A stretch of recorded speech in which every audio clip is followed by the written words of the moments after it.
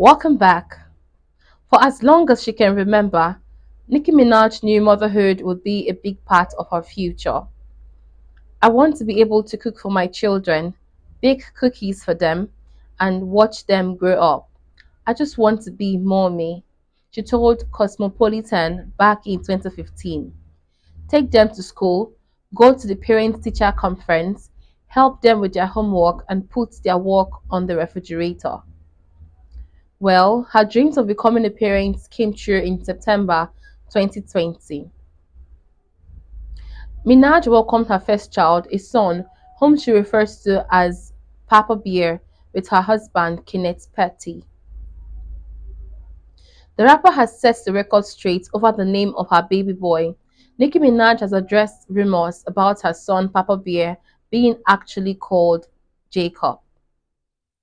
The rapper got fans talking after sharing a clip of her husband carrying their son on his shoulder on the celebrate as he celebrated his second birthday.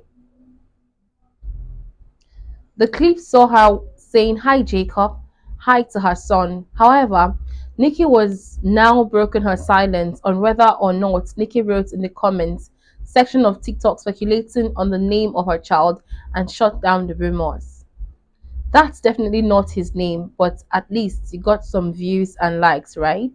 Nicki replied. This led fans to back up Nicki as she sets the record straight.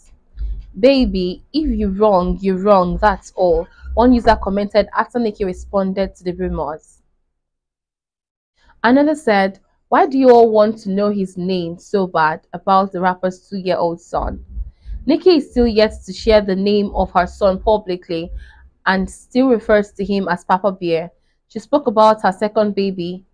She spoke about her second birthday last month and said, Thank you for giving Mama new meaning to life. God cover you always. Thanks for listening.